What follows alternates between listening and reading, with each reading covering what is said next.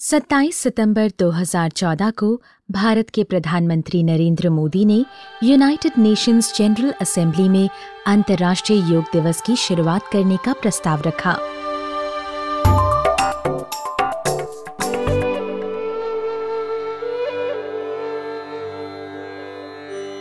मुझे भारत के प्रधानमंत्री का स्वागत करते हुए बड़ा हर्ष हो रहा है। आदरणीय प्रधानमंत्री नरेंद्र मोदी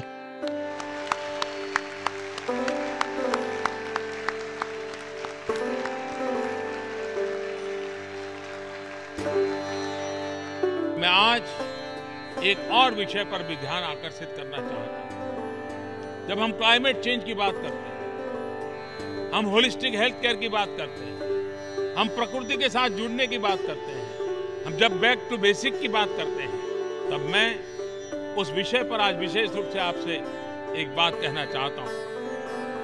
योग हमारी पुरातन पारंपरिक अमूल्य देन है। योग मन व शरीर, विचार व कर्म, संयम व उपलब्धि की एकात्मता का तथा मानव व प्रकृति के बीच सामंजस्य का मूर्त रूप है। यह स्वास्थ्य व कल्याण का समग्र दृष्टिकोण है। योग केवल व्यायाम भर न होकर अपने आप से तथा विश्व व प्रकृति के साथ तादात्मय को प्राप्त करने का माध्यम है। यह हम में जागरूकता उत्पन्न करके जलवायु परिवर्तन से लड़ने में सहायक हो सकता है। आइए हम एक अंतर्राष्ट्रीय योग दिवस को आरंभ करने की दिशा में कार्य करें।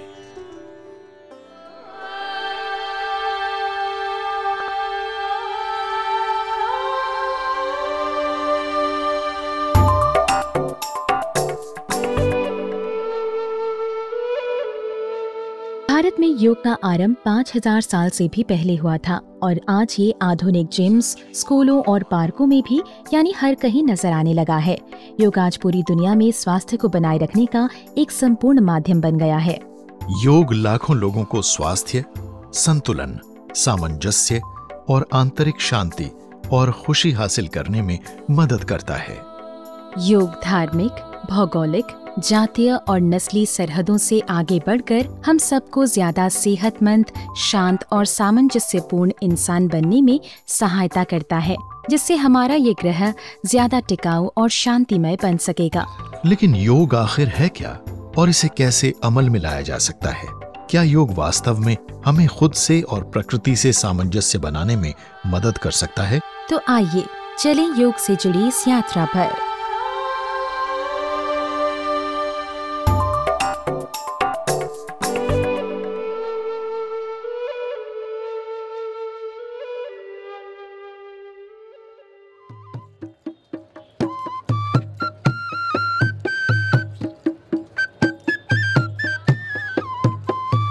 हर साल फरवरी में पूरी दुनिया से हज़ारों लोग हिमालय के आंचल में बसे भारत के सबसे पवित्र नगरों में से एक, ऋषिकेश आते हैं, ताकि योग का अनुभव कर सकें, उसे सीख सकें और उसे एक दूसरे से बांट सकें।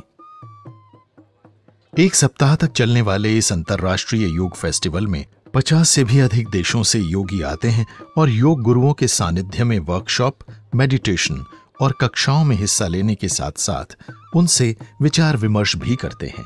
आज दुनिया में ये कहीं भी योग गुरुओं का सबसे बड़ा और अंतर्राष्ट्रीय स्वरूप वाला सम्मेलन है।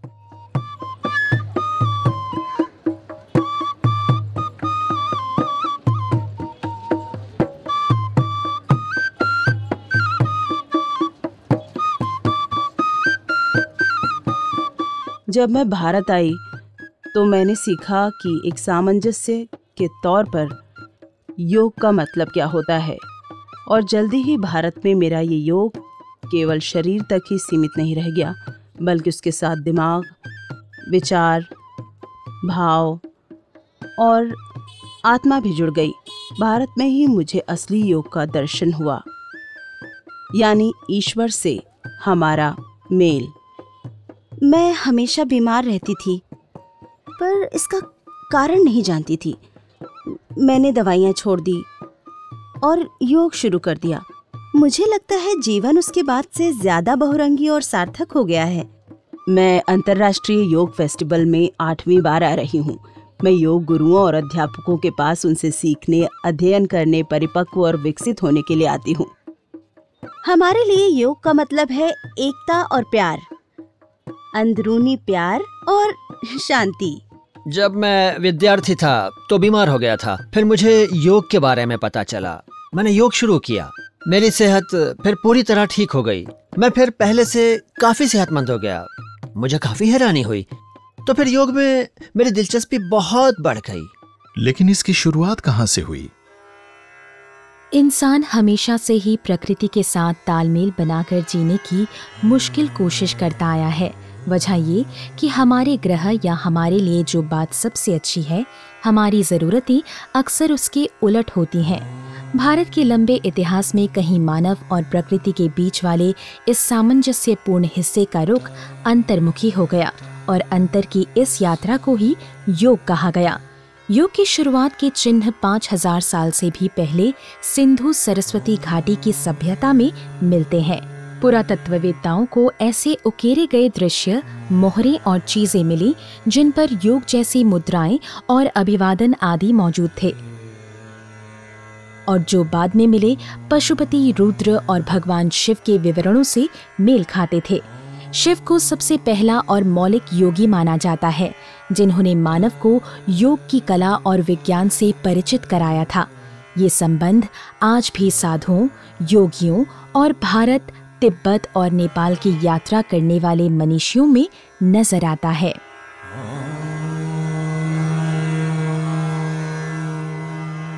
योग शब्द संस्कृत का है और लगभग 1000 ईसा पूर्व वाले वैदिक काल में आम चलन में आया। ये शब्द युज से निकला है, जिसका मतलब है बांधना, चीज़ों को एक जगह लाना, संयोजित करना या थामना। योग का लक्ष्य है हमें खुद को अपने और प्रकृति के साथ दोबारा से संयोजित करना, स्रोत की ओर लौटना। योग से जुड़ी सोच का मूल सांख्य दर्शन में है, जिसके अनुसार ये ब्रह्मांड पुरुष और प्रकृति या चेतना और प्रकृति के बीच एक द्वैत है। योग पूरे भारत में ही काफ़ी जाना पहचाना था। और इसका ज़िक्र फिर वैदिक ग्रंथों में मिलने लगा। विशेषकर उपनिषद में और उस दौर की बौद्ध और जैन शिक्षाओं में भी।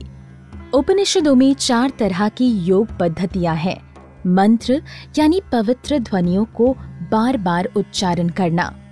परम शक्ति से संपर्क, जिसे लय या भक्ति संबंध कहते हैं हठ या आंतरिक ऊर्जा को चैनलाइज करना और राजयोग, इसे ही ध्यान या अष्टांग योग भी कहा गया। आज दुनिया भर में मौजूद योग के सभी स्कूलों का संबंध ऐसे ही किसी न किसी एक सिद्धांत से है। दूसरी सदी ईसा पूर्व में योग के संदेशों को एक लिखित ग्रंथ का रूप दिया गया था, जिसे पतंजलि के योग सूत्र कहा जाता है।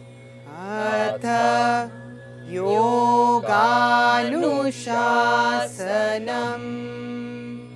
ओम अब योग के बारे में बताते हैं। योग का मतलब है मस्तिष्क में मौजूद सामग्री में आ रहे परिवर्तनों को स्थिर करना ताकि व्यक्ति को अपनी सच्ची और वास्तविक स्थिति का अनुमान हो सके।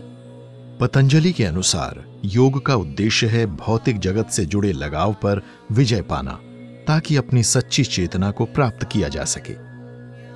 तैत्रीय उपनिषद के अनुसार व्यक्ति कोशों की पाँच सतहों से बनता है जो एक साथ मिलकर काम करता है।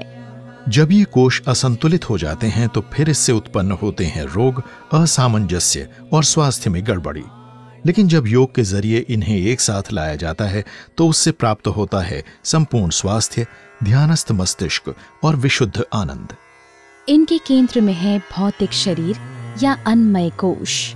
इसके अलावा होती है जीवनी शक्ति या ऊर्जा पुंज, जिसे कहते हैं प्राणमय कोश। मानसिक चेतना या मस्तिष्क का जगत भी होता है, जिसे मनामया कोश कहा जाता है। इसके अलावा उच्च मस्तिष्क भी होता है, जिसे विज्ञानमय कोश कहा जाता है। और सबसे अंत में होता है अंतिम या संपूर्ण अवस्था, जिसे आनंदमय कोश कहा जाता है। प्राण हर जीव की जीवनी शक्ति की प्रमुख ऊर्जा होती है जो इन सभी सतहों के बीच घूमती रहती है और उन्हें आपस में जोड़े रहती है। कोशों को नियोजित करने और सामंजस्य को बहाल करने के लिए पतंजलि ने योगियों के लिए एक प्रणाली सुझाई जिसे अष्टांग या आठ अंगों वाला मार्ग कहा जाता है। पहला अंग है यम।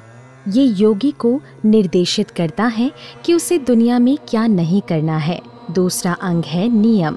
या योगी को अपने जीवन में क्या करना और क्या सोचना चाहिए?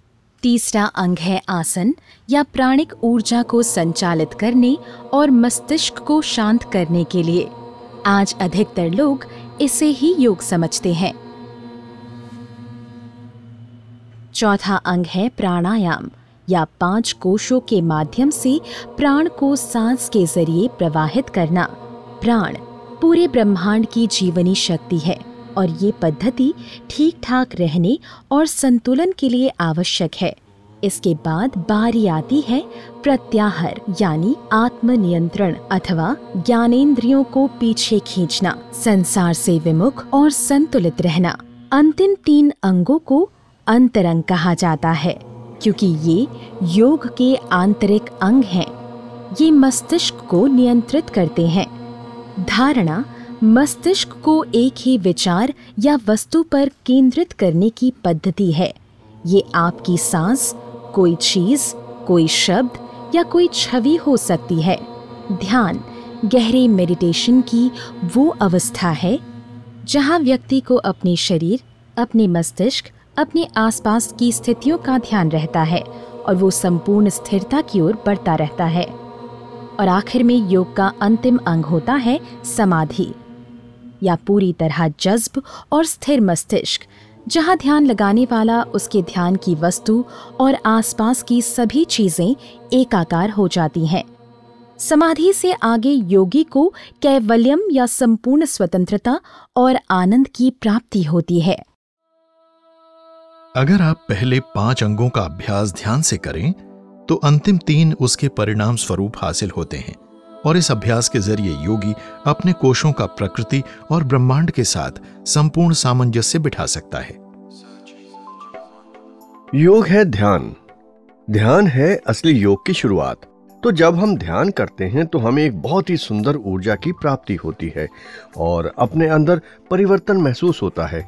ये परिवर्तन हमें एक बेहतर इंसान बनाता है और एक बेहतर इंसान से एक बेहतर समाज बनता है। भारत में सरकार ने एक मंत्रालय स्थापित किया जो स्वास्थ्य की देखरेख के सिलसिले में भारत के प्राचीन ज्ञान को समर्पित है।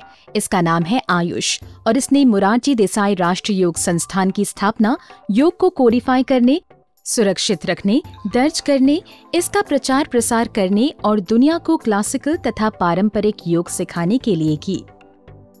ये इंस्टीट्यूट योग में डिप्लोमा और डिग्री प्रदान करता है। और ये भारत और पूरी दुनिया में अध्यापकों स्कूलों और पद्धतियों के एक नेटवर्क को संचालित करता है। विश्व स्वास्थ्य संगठन ने योग को भारत की एक पारंपरिक चिकित्सा प्रणाली के तौर पर मान्यता दी और इस संस्था को पूरी दुनिया में मौजूद सभी सदस्य देशों के बीच अपनी शोध जारी रखने और संदेशों को फैलाने के लिए धनराशि दी जाती है।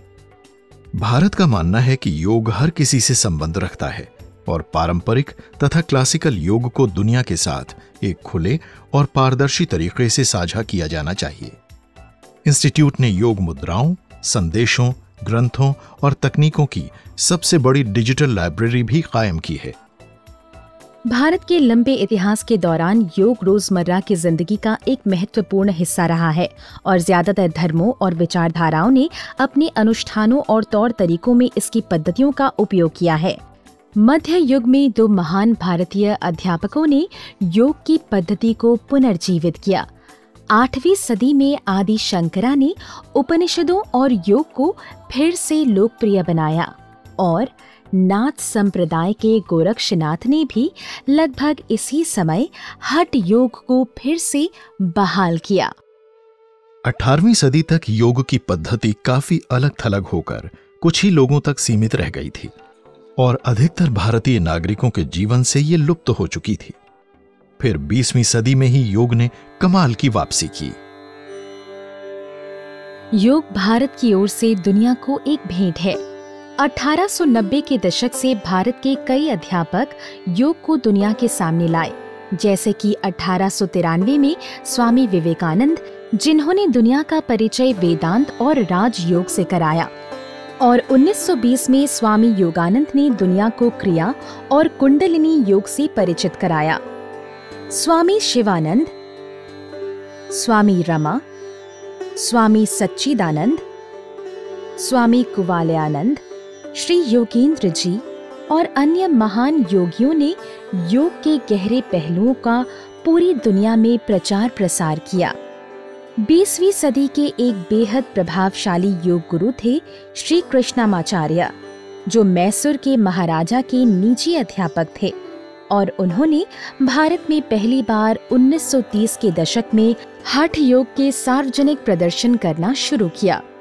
उनके विद्यार्थी बी के एस अयंगर के पत्तिभा जोइस और उनके पुत्र देसिकाचार्य योग के तीन प्रमुख प्रचारक बने। और उन्होंने योग को पूरी दुनिया में फैलाने में मदद की। अयंगर योग और जोयस के अष्टांग विन्यास स्कूल अमेरिका और यूरोप के प्रमुख योग स्कूल बने। और 1965 में अयंगर की पुस्तक लाइट ऑन योग योग के सिलसिले में दुनिया की पहली गाइड बनी और 17 भाषाओं में इसका अनुवाद किया गया। योग को कभी पूरी तरह से भुला दिया गया था लेकिन मुझे खुशी है कि आज ये हर कहीं नज़र आता है। कम से कम इस सिलसिले में शुरुआत तो की गई है, और मुझे पूरा यकीन है कि अगर शुरुआत हो जाए तो बेशक वो आरंभ में मामूली हो, लेकिन धीरे धीरे योग की जड़ें और मज़बूत होती जाएँगी। आज योग इन शुरुआती अग्रणी लोगों से कहीं आगे निकल चुका है। श्री श्री रविशंकर, पूज्य स्वामी जी बाबा रामदेव, स्वामी निरंजन और सदगुरु जग्गी वासुदेव जैसे योग गुरु पूरी दुनिया में क्लासिकल योग की लॉ को जलाए हुए हैं।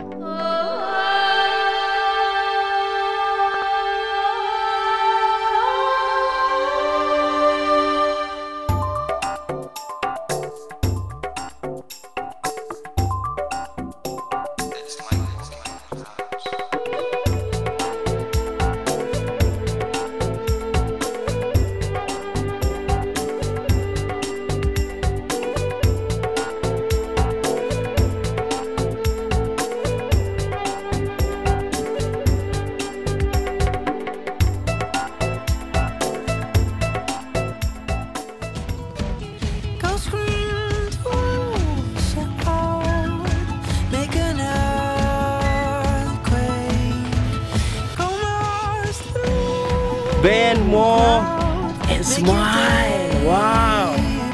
What a pose.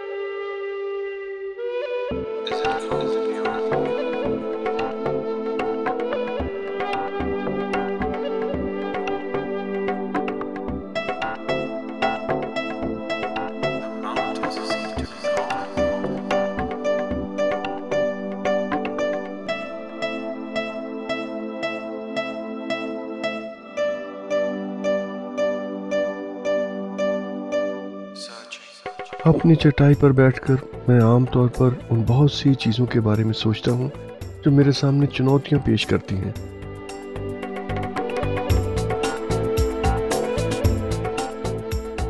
दिमाग बहुत सारी चीज़ों के बारे में सोचता है। जब आप चटाई पर होते हैं योग सिर्फ़ तभी आपके साथ नहीं होता। योग आपके भीतर रहता है। मैंने ये देखा है और मैं ये समझ गया हूँ कि आप खुद को बदल सकते हैं और एक बहुत अच्छे इंसान बन सकते हैं।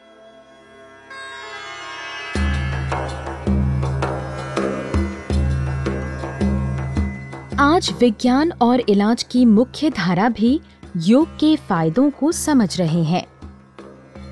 भारत में योग की स्वस्थ करने की शक्तियों के बारे में लोग हज़ारों साल से जानते हैं और आयुर्वेद के साथ मिलकर ये भारत में बीमारियों को रोकने, चेतनता को और बढ़ाने तथा तंदुरुस्ती को ठीक रखने के सिलसिले में बेहद महत्वपूर्ण रहा है। साथ ही ये योगी को स्वतंत्रता भी देता है। निमहंस भारत का एक जाना माना तंत्रिका विज्ञान संस्थान है, जहाँ योग पर हुई गहन शोध से कमाल के नतीजे सामने आए हैं। हमने एमआरआई का इस्तेमाल करके मस्तिष्क पर होने वाले योग के प्रभावों की जाँच की है। योग करने के बाद मस्तिष्क के कुछ हिस्सों की हालत बेहतर हो जाती है। इसके अलावा ऐसी भी स्थितियाँ देखी गई हैं जहाँ ओम का उच्चारण करने से मस्तिष्क के कुछ हिस्सों में बदलाव आता है और उससे इंसान बेहतर बन जाता है। जब आप ओम या किसी और शब्द का उच्चार करते हैं, जब आप कुरान पढ़ते हैं, बाइबल पढ़ते हैं, जब आप इसे ऊँचे स्वर में पढ़ते हैं तो शब्द आपके कानों में गूंजने लगते हैं। कानों से विद्युतीय गतिविधि नीचे आकर फिर ऊपर की ओर चढ़ने लगती है। ऊपर चढ़ते वक्त ये शरीर को शांति देती है। योग की वैज्ञानिक और उपचार संबंधी शक्ति से जुड़ा एक और जाना माना भारतीय शोध संस्थान है, एस व्यास विश्वविद्यालय, जिसे स्थापित किया था नासा के एक पूर्व वैज्ञानिक डॉक्टर एच नागेंद्र ने। ये योग और न्यूरोफिजियोलॉजी में गहन शोध करने वाला एक पंजीकृत केंद्र है। इसे भारतीय चिकित्सा अनुसंधान परिषद से मान्यता मिली हुई है। ये योग सिखाता है नियमित रूप से अंतर्राष्ट्रीय शोध पत्र निकालता है और आरोग्य धाम चलाता है।